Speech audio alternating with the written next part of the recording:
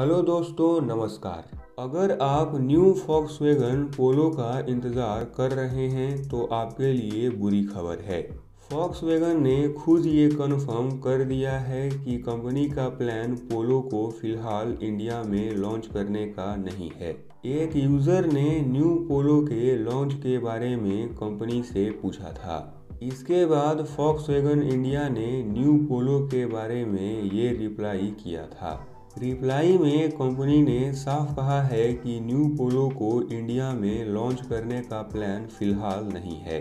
फ़िलहाल Volkswagen India में new Virtus sedan को लॉन्च करने का प्लान कर रही है। इस कार को फॉक्सवैगन 8 मार्च को रिवील करेगी। फॉक्सवैगन वर्टस का फ्रंट न्यू पोलो से काफ़ी मिलता जुलता है। वर्टस को आप पोलो का सेडान वर्जन बोल सकते हैं।